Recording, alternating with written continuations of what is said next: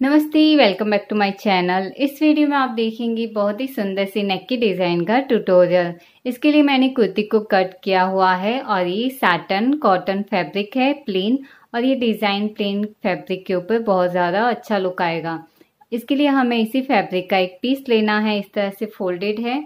इसकी लंबाई है चौदह इंच और चौड़ाई है टोटल पंद्रह इंच. ये फोल्डेड है तो यहाँ से ये सेवन एंड हाफ़ इंच का हुआ.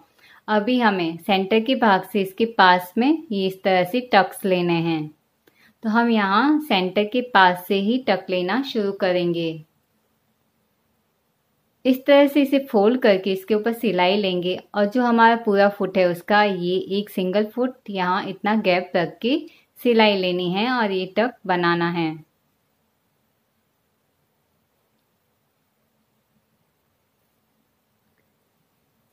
इसके बाद में हमें आगे से आगे ये टक्स लेने हैं। पहले हम सेंटर से एक ही साइड के सारे टक्स ले लेंगे, फिर दूसरी साइड में लेने हैं। तो इसके लिए एक जो टक आया है, इतना गैप और फिर जितना फोल्ड करते हैं, उतना हमें गैप रखते हुए इसके ऊपर सिलाई लेनी है। यानी कि जो हमारा फुट है, ये पूरा फुट जितना आता है, उतना हिस्सा हमें ये रखना है इस तरह से। तो ये जितना पूरा फुट है, इतना हमने रखा और एक फुट का हिस्सा यहाँ पर सिलाई के बाद में इस तरह से रहेगा। और ऐसे ही हमें सारे टक्स लेने हैं एक साइड के और ये मैंने ले लिए हैं इस तरह। ये लगभग छः टक्स आएँगे यहाँ पर और हमें छः टक्स लेने हैं दूसरी साइड में भी, यहाँ पर भी, इसी तरह से।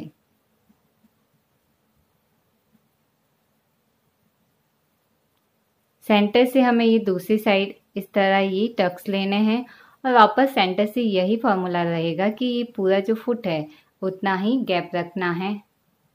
सेंटर में ज़्यादा स्पेस देने की ज़रूरत नहीं है, जितना ये फुट का हिस्सा है, उतना ही स्पेस रखेंगे। इस तरह से सारे टक्स ले लिए हैं, बस अब एक चीज़ करनी है, जो सेंटर के हिस्से से हमारे दोनों साइड में छः छः टक्स हैं तो दोनों को इस तरह से आयरन से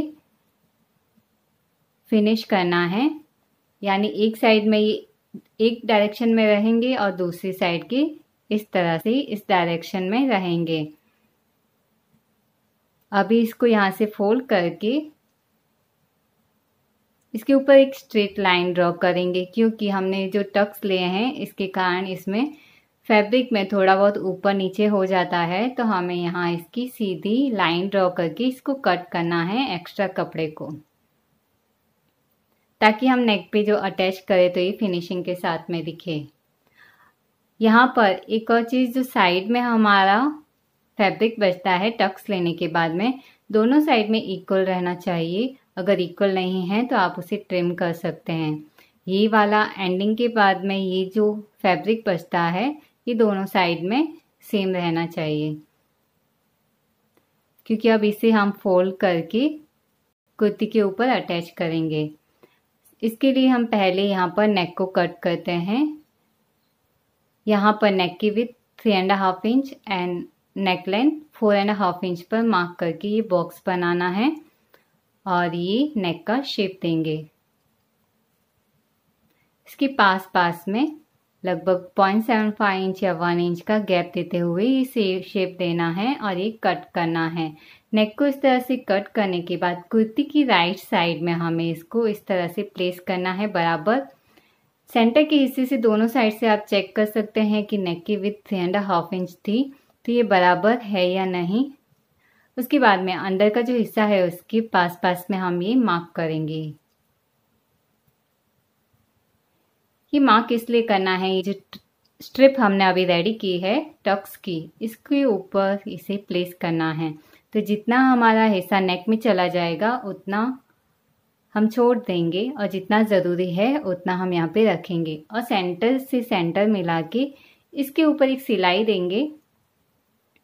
ये लूज सिलाई देनी है हमें यहाँ पर, ये सिर्फ़ अटैच करने के लिए, ताकि जब हम दोनों साइड से इसकी फिनिशिंग की। स्टिच लें तो वो बराबर आए। तो सेंटर से सेंटर मैच करके ये लूज सिलाई देनी है और नीचे तक पूरा नहीं आना है, ये हिस्सा छोड़ देंगे। फिर अभी साइड में पट्टी को इस तरह से फोल्ड करेंगे और इसके ऊपर सिलाई लेंगे। यहाँ नीचे भी और दोनों साइड की और।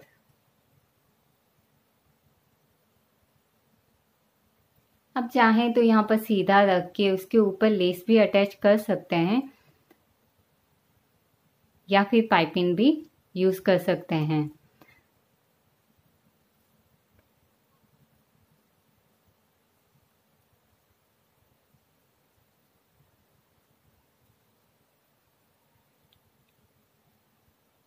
इस तरह से बराबर इसको फोल्ड करके ये तीनों साइड में सिलाई देके इसकी फिनिशिंग को ख़त्म करना है।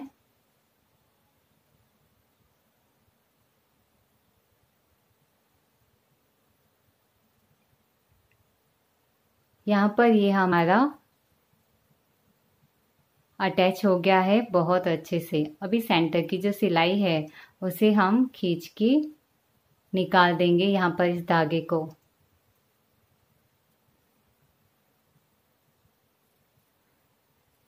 उसके बाद में हमारा जो नेक कैनवास का था, उसे फैब्रिक पे पेस्ट करना है और ये आउटर का हिस्सा फैब्रिक का इसके ऊपर सिलाई लेनी है। और इस नेक का नेक की जो पट्टी है, इसको हमें कुर्ती की राइट साइड में रखना है और कैनवास की पास पास में सिलाई लेंगे।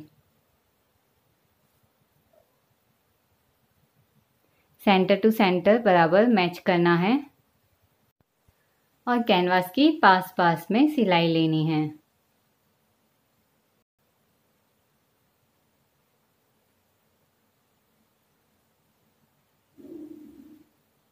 ये सिलाई लेने के बाद एक्स्ट्रा फैब्रिक को कट करेंगे। और जहाँ गोलाई है, वहाँ पे हमें कट के निशान देने हैं। ये कट देने हैं और कैनवास की पट्टी को रॉन्ग साइड में टर्न करेंगे। टर्न करने के बाद हमें एक कच्ची सिलाई देनी है। इसके ऊपर इस तरह से।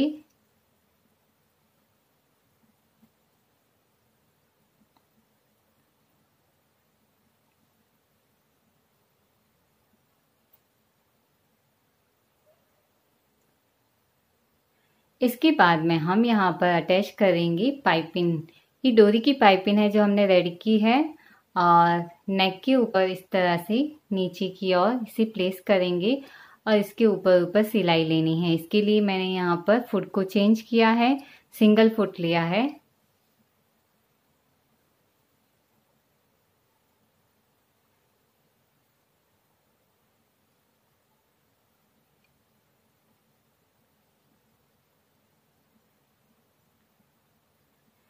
इस तरह से ये पूरी नेक पे हमारी पाइपिंग अटैच हो गई है। और आप रॉन्ग साइड में स्पाइन पाइपिंग के ऊपर टूथपाई से इसकी फिनिशिंग कर दीजिए।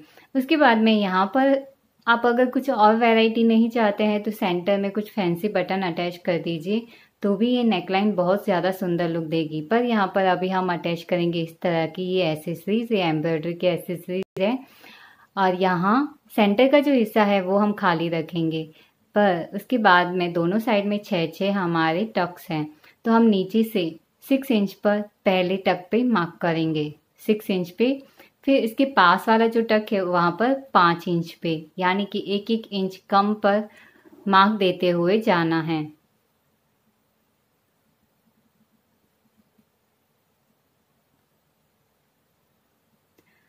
इस तरह से दूसरी साइड में भी छः टक्स है और यहाँ पर छः इंच पर मार्क करेंगे। पहले टक पे, फिर दूसरे अंदर की साइड में टक में पाँच, फिर चार, फिर तीन, फिर दो, फिर एक। इस तरह से ये मार्क करने हैं। ये मार्क इसलिए करने हैं, ये मार्क के ऊपर की साइड में है, ये ऐसे जिसको हम अटैच करेंगे, इनके नीचे की ओर अटैच नहीं करनी है। इस तरह से सुई धागे के हल से इन्हें अटैच करेंगे। इनके सेंटर में होल होता है। तो इस तरह इन्हें इजीली अटैच किया जा सकता है। यहाँ पास में दो दो, एक साथ में अटैच करेंगे। यहाँ सुई धागे से ये अटैच करेंगे और दो दो अटैच करने के बाद आगे वापस थोड़ा गैप रखना है, फिर वापस ये दो बीट्स अटैच करेंगे। इस तरह से हमारी सारी टक्स की लाइन पे इनको अटैच करना है। और जो हमने मार्क्स दिए हैं उनके ऊपर की साइड में ही इनको अटैच करना है। अगर आप सुई धागे से ये झंझट नहीं करना चाहते हैं तो कोई भी ग्लू से एसेसरीज बहुत आती है, उन्हें आप ग्लू से चिपका दीजिए और वो बहुत अच्छे से अटैच हो जाएगी। अभी यहाँ सेंटर के हिस्से के लिए मैंने ये बटन लिए हैं। तो इन बटन को हम अटैच करेंगे सेंटर की लाइन में, जो हमने खाली छोड़ी है। इस तरह से और ये हमारी डिज़ाइन बनके पूरी तरह से कंप्लीट है और ये बहुत ही ज़्यादा सुंदर लुक दे रही है। आप कोई भी फेस्टिवल या ओकेज़न के लिए इन, इस डिज़ाइन को बना सकते हैं और ये बहुत ट्रेंडी और हैवी लुक देगा। यहाँ पर हमने जो पाइपिंग का कलर लिया है गोल्डन में, उसी के अकॉर्डिंग मैंने ये एसेसरीज ली है। और अगर आप सिंपल लुक देना चाहते हैं तो इन एसेसरीज को यूज़ ना करके सेंटर में ही कोई बटन लगा दीजिए। तो उससे भी ये डिज़ाइन बहुत ही ज़्यादा अच्छी और खिल के आएगी। आपको ये डिज़ाइन कैसी लगी कमेंट करके ज़रूर बताइए। लाइक ज़रूर कीजिए और सब्सक्राइब कीजिए आगे और वीडियोस देखने के लिए। Thank you so much for watching bye